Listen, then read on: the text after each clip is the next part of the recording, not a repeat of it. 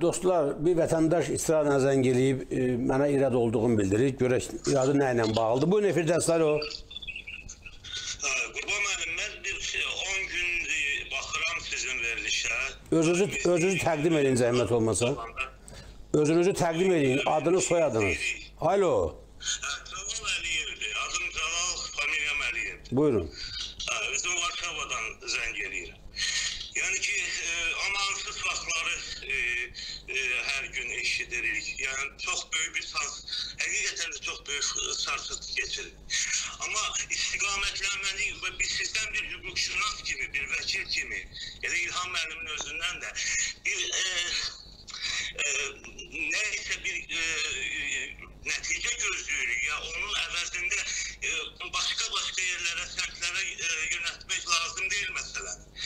Məsələn, dünən öz adı ağzınızdan çıxdı.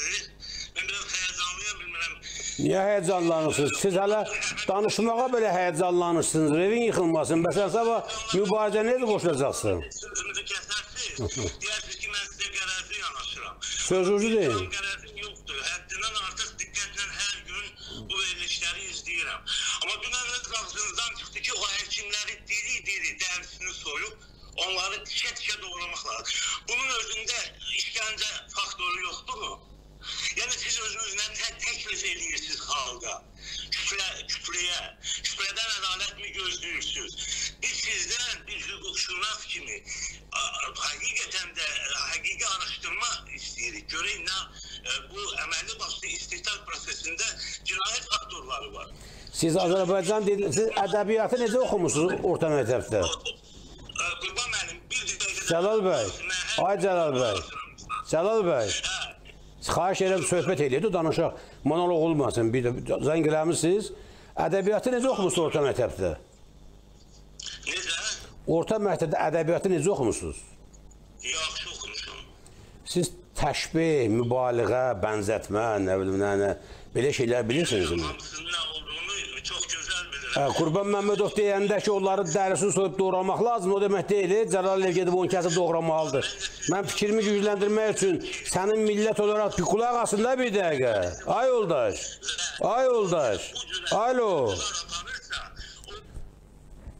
adam zəng eləmisənsə, ya danışıb qulaq asasın, ya da belə nağıllara vaxtımız yoxdur.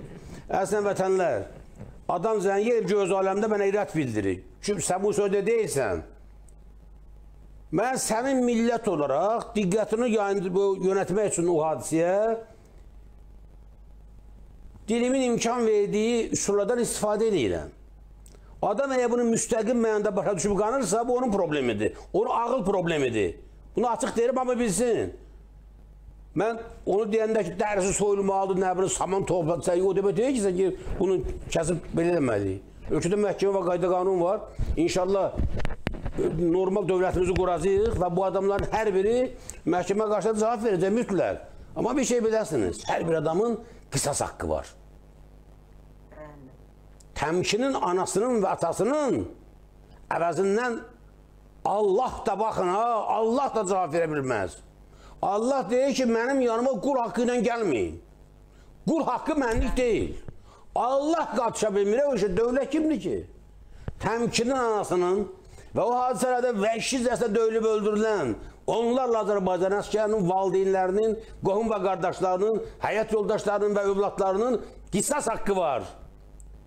Onun o ərinin başına, onun oğlunun başında oynatıblarsa, onun da haqqı var ki, Hikmət Həsənovun, Babək Səmitlinin, Nəzməddin Sadıqovun, Zakir Həsənovun, Xanlar Vəliyevin və onlar kimi yüzlərlə binamusur başına eyni oynaşsınlar. Bu qisas haqqıdır, Allah Taala'nın Quranda verdiyi haqqdır.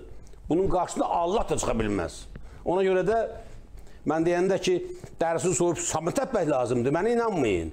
Amma bilin ki, arması soxa bilərsiniz, reyka soxa bilərsiniz, düz deyəcəm ana bacılarım hamıdan. Ayağınızı soxa bilərsiniz, toka verə bilərsiniz, necə edib edilə bilərsiniz. Bu sizin haqqınızdır. Heç kəs bunun qarşılana bilməz.